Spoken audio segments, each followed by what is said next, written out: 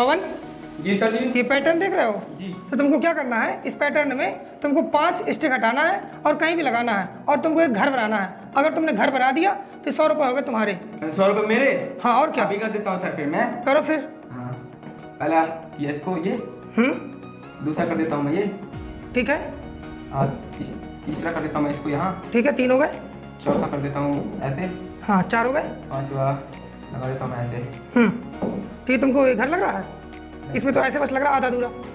Sir मुझसे नहीं बन पाएगा आप बताओ सर। तो देखो फिर क्या करोगे? सबसे पहले इसको उठाओगे इसको लगा दोगे तुम यहाँ पर फिर उसको उठाओगे तो इसको तुम लगा दोगे दूसरी नंबर की यहाँ पर फिर तीसरी वाली ये उठाओ इसको लगा दो तुम यहाँ पर चौथे नंबर की ये उठाया ये तुमने लगा दिया यहाँ और लास्ट में इसको उठाया पाँचवें नंबर की तो ये लगा दिया यहाँ पर तो बन गया घर। अरे वाह सर जी ये तो बहुत बढ़िया ट्रिक है